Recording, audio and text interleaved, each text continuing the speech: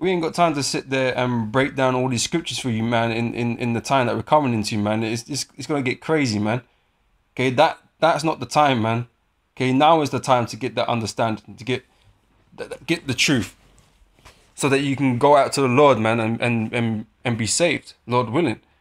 Okay, but in that time, man, hey, man, every brother's gonna be uh fighting for his life, man. Okay. So, like I said, there ain't gonna be the, the time to, to be going like sitting there breaking down scriptures when all hell's breaking loose ra- around you, man. Okay. This is um. So while they went to buy, okay, so while you go out to figure shit out, the bridegroom came, and they that were ready, okay, hence ready, went in with him to the marriage, and the door was shut. For you guys that are not ready, okay, you gonna miss. You gonna miss the ship, man. Okay, because you left it too late. You left it too late to get the understanding.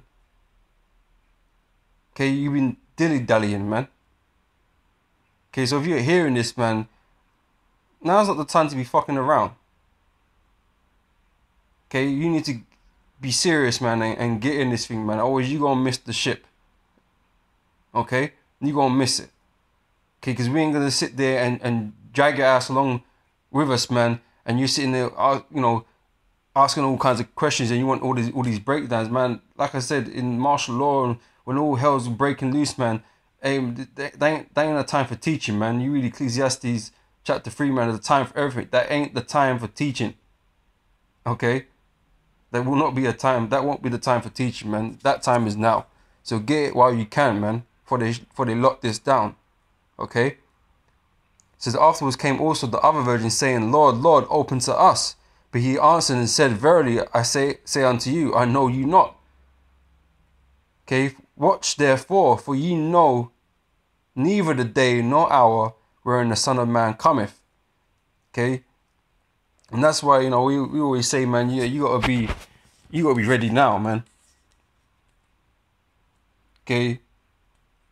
You gotta be ready if the Lord was gonna come tonight. You know, so get this understanding, man. Okay, get get the, the true understanding. Get this get this knowledge in, in inside you, man. Eat, eat this roll, man.